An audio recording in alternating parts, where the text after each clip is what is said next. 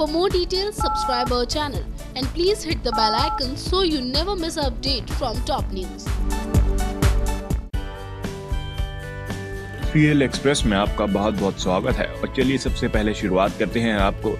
Serial express में ये ऋषक कहलाता है कि कहानी बताने की, जो कि अब आगे आपको देखने को मिलने वाली है। सबसे पहले हम आपको बता दें कि क्या कुछ आएगा खास आज के एपिसोड में, जो कि आप सबके होश उड़ा देगा। सबसे पहले ये जान लीजिए अब तक आपने देखा होगा कहानी में कि कैसे कार्तिक और नायरा एक साथ बैठे होते हैं कमरे में, जहाँ कार्तिक नायरा से माफ़ी मांग रहा होता है। जिसके बाद आपने देखा, नायरा के कुछ बोलने से पहले ही वहाँ पर एकदम से आग लग जाती है और हर जगह हड़बड़ी मच जाती है। जहाँ पर बाहर सारे लोग कार्तिक और नायरा को ढूँढने में लगे होते हैं। तो वहीं आपने देखा कि, ऐसे एक सिलेंडर भी ब्लास्ट हो जाता है जिसके बाद कार्तिक और नायरा बच जाते हैं जहाँ पर कार्तिक किसी तरह नायरा को लेकर बाहर आता है और एंबुलेंस में बैठा देता है। जिसके बाद आपने देखा कि कार्तिक और नायरा एक दूसरे को देखने के लिए तड़प रहे होते हैं जहाँ पर अपने अपने घर चले जाते हैं वो दोनों जिसके बाद दोनों की फैमिलीज़ उन्हें बताती हैं कि दोनों ही एक दूसरे के लिए फ़िक्र कर रहे थे और दोनों ही सही हैं। जिसके बाद आपने देखा कि कैसे कार्तिक और नायरा एक दूसरे से बात करने के लिए छटपटाए जा रहे होते हैं जहाँ पर उनकी बात नहीं हो पाती।